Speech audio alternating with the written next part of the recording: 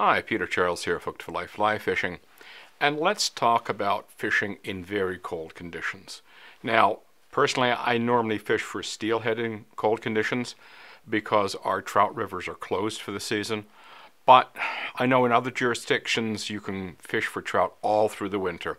So this video is going to be using steelhead examples with two-handed rods and long lines. But the same, exactly the same thing applies to uh, trout fishing in smaller creeks in the middle of winter. You can do the same thing. And the whole idea of this presentation is to move your wet fly low and slow. As slow as you possibly can. So let's look at the techniques I use to get that fly moving very slowly in cold water. So fish whose metabolism is has been reduced because they're cold-blooded. The metabolic rate goes according to the temperature of the water. So they don't move as fast, they're not as aggressive, but they are surprisingly aggressive and fast in cold water. It's just not as fast as when temperatures are ideal for them. So let's get going and look at, uh, first off I'm going to give you an example of a spring day, but it was early in the spring and uh, things are going quite well. So let's get that started. Uh, it was a nice day. You can see uh, in this image, I don't have a jacket on.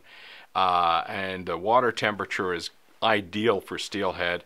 So I'm just going to make a single Spey and I'm going to drop it out there and there's no mend. I just put that cast out there, no mending whatsoever, and uh, the I just let it swing. I had a rage head with an intermediate polyleader, which is this beastie right here. So here's my rage head, intermediate polyleader. That's exactly what I was using. Uh, and it's more than adequate for those conditions. The flow rate wasn't particularly high. I had a fly with some weight that would get down on its own. So this was simple. It worked just fine. Here we're into early December it's very cold, and I'm using this intermediate long belly line. This is a 75 foot head. So I have to roll it up first, and then I just do a double Spey, put it out there, take my time. It's a long line.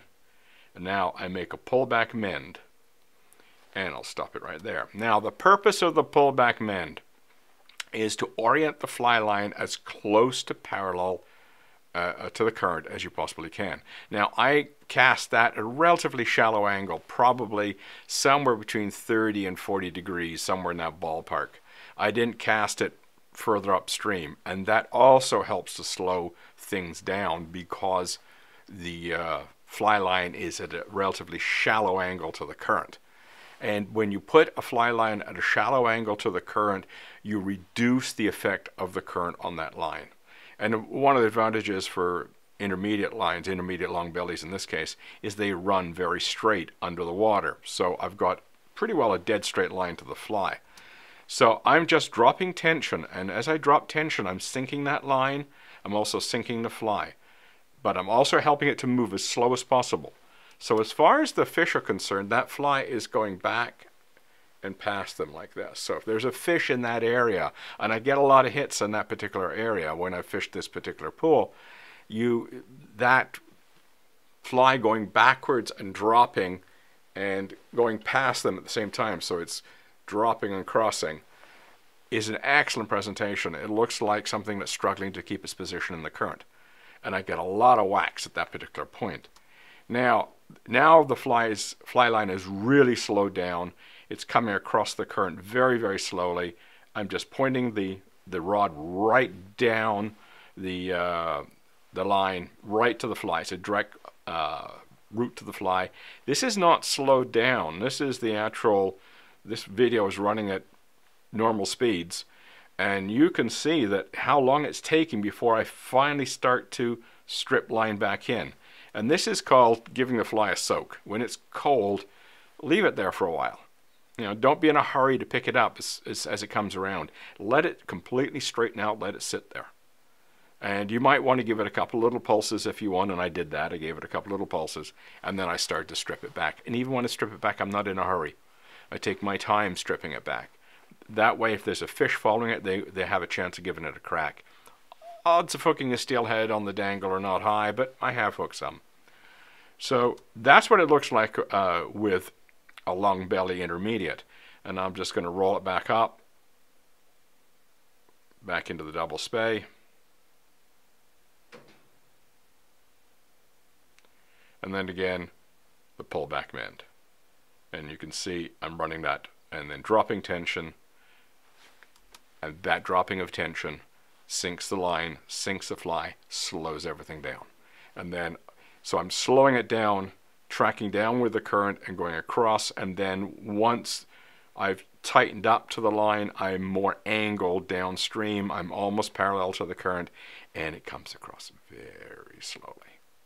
So it's a combination of that shallow angle cast, the pullback mend, and the dropping of tension that does the job.